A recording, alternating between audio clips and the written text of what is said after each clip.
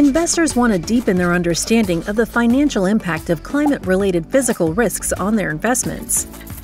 As climate change is expected to increase the occurrence and intensity of severe hazards, the value of your portfolio might be affected.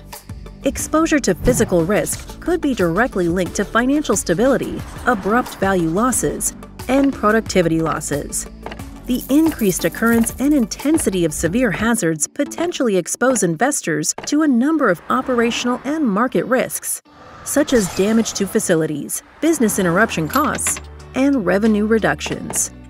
ISS ESG's physical risk analysis enables investors to model hazard intensity increases for likely and worst case scenarios by 2050 across five of the most costly hazards wildfires, tropical cyclones, heat stress, floods, and drought.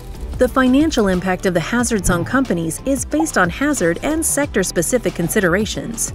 It is calculated for a likely and a worst case scenario. The impact of the damages on overall company valuation is then calculated based on detailed financial considerations, allowing for detailed insights.